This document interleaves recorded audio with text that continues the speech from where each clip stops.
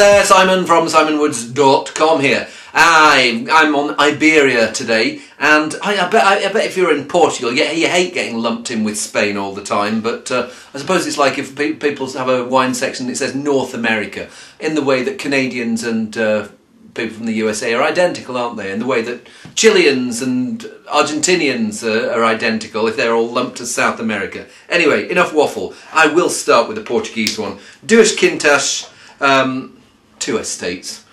Adriano Ramos Pinto, 2007 Douro Red. Um, these guys, Ramos Pinto, they were probably one of the first um, of the modern era of Douro table wines. There's uh, table wines always been made in the Douro, but it's the port that has been uh, coming out for years and years. Only really in the last 20 years has um, has table wine really developed. And these guys were one of the first to to get properly on the on the act. They've got two estates one called Quinta de Ervamoira where they also make some uh, uh, port and Quinta de Bons Ares which uh, I think was one of the first vineyards planted specifically with table wine in mind. I might be wrong. Hey who cares?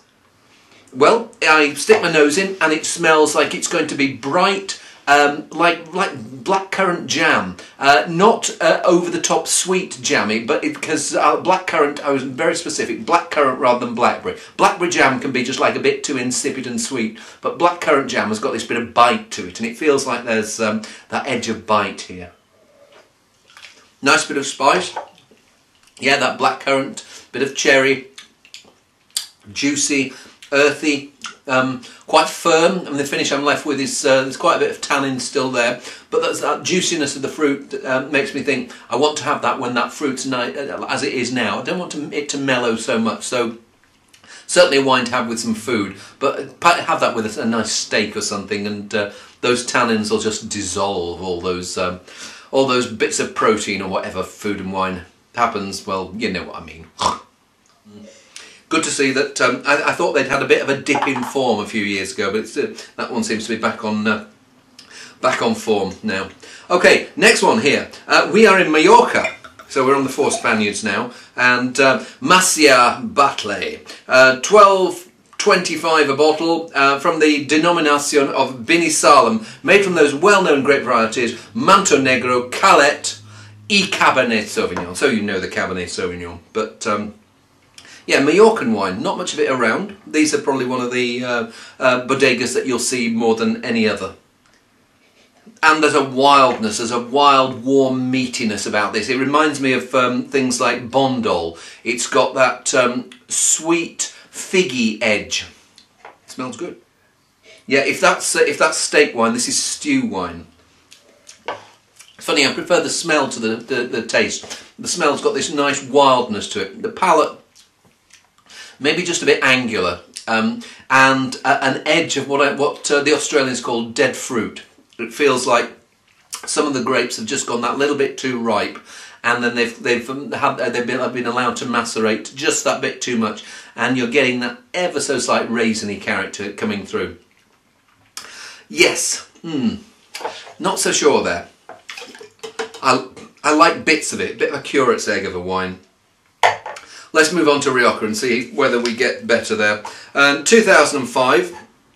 Well, I'll give my glass a quick rinse. I should probably have done the Riojas um, before something of such size, but I thought I'd just do it in vintage order. So I'm on 2005. Viña Pomal Centenario Reserva 2005 and this feels much lighter but more fragrant as well with it. Um, it's got what I call that strained acidity and you know I don't know if you have terms that you use um, whatever your field of work is you know what they mean no one else does. I suppose what I mean by that is it feels that there is a freshness there and it feels like all the way through the wine there's this there's this edge of something that's holding it all together. So whereas the fruit has got this nice raspberry uh, strawberry bit of orange peel there's this acidity going through to sort of just like as a uh, keep the tension throughout the wine.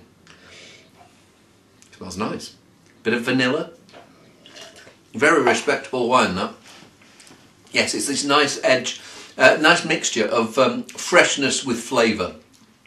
Um, it's not too tart, um, uh, but it, it, still has got a, quite a bit of tannin. Um, and again, definitely food wine. You need something um, meaty to go with that, or something full flavoured. Uh, imagine if you have of big portobello mushrooms and uh, uh, and grill those and uh, with with a nice. Uh, I don't know what you, what you put on as a topping. I'm, I'm not a veggie, so uh, sorry veggies if I'm waffling too much. You you sort something out. You know, sort out sort your mushrooms out yourself.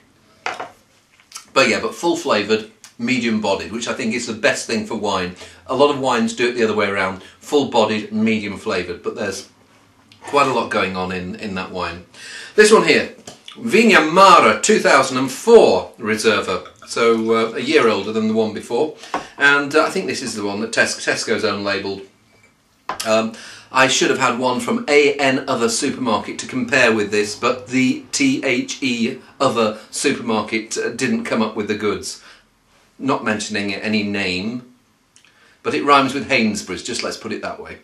Okay, um, and here I'm getting more maturity. Um, it feels like it's it's going to be more on the age side. It's uh, yes, okay, it is a year older, but I think both of these years were pretty good vintages from for Rioja. This feels like it's got uh, more of a, a I, don't know whether it's had longer in barrel or whether this was um, has more concentrated fruit. But I notice here more of the vanilla, more of that slightly cedary edge of oak. Still smells nice.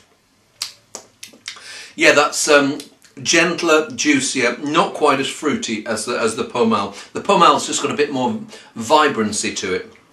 But I know that if I put that on a table, there'd be half the people would prefer the one that's got like that bit more acidity and that bit more freshness, and uh, um, the other half would like this one for its extra mellowness. It's not Grand Reserva mellowness, but um, uh, yeah, it's not quite as fruity, but uh, it's got this gentleness, it's got this warmth and generosity to it. I um, can't remember the price of here, but I don't think again I don't think it's a, it's a it's a silly price and uh, pretty good wine. Growing on me that one actually, and I, will go back and try these two afterwards, and uh, maybe I'll end up preferring that one. Who can tell? Last one, a Reserva, but not from Rioja. This is one's from Navarra, uh, and it's a Chivite Gran Feudo um, 2004 Tempranillo Cabernet Merlot. Give it a whirl and there's a sweet slightly sweaty feral meatiness here there's um, uh, I, I it, doesn't feel quite as confident uh, they, these these two felt really gentle, confident wine. This one feels like oh, almost as someone has felt, oh, what can we do now? What can we put in here? And I do get an edge of Brettanomyces as well. Some of that slightly horsey edge. Mm, not so sure there. But the weird thing I find about wines with Brett, if you don't know what Brett is, have a. Uh, I, I might put a little bit of waffle on below uh, on the website uh, about what I think about Brett. Um, what I find about Brett is if you have a wine with Brett in, there's it almost like the level stays the same. Sometimes the wine then comes out, and if you hit it when the um, the, the, the Brett's here and the, the, the, the main flavours in the wine are down here. The Brett's all you notice. Suddenly the flavours rise in concentration. You get to here and you think, actually the Brett's almost quite nice having it there. It adds a bit of complexity. But um, it's one of those things, I, I, think about it as like a wine wart. Uh, one wart on someone's face you can cope with.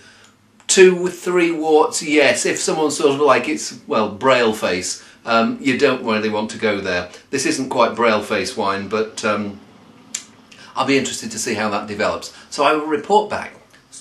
Well, it's a couple of days since I opened the uh, the Chivite wine, and I just want to see what's happened to that uh, Bretty edge, whether it's still dominating the wine. And what's happened is there's a bit more fruit come out. Yeah, it smells sweeter, lusher, but still there's that dry, slightly horsey edge in the background. It's okay. Um, the Riojas, I actually preferred those. Went back and tried both of them again. I found myself preferring the Mara the more and more I tasted it. But this, yeah, I still get that, it's the dry finish that I'm not so keen on. That's one of the effects of Brett. Anyway, give it a go. See you soon.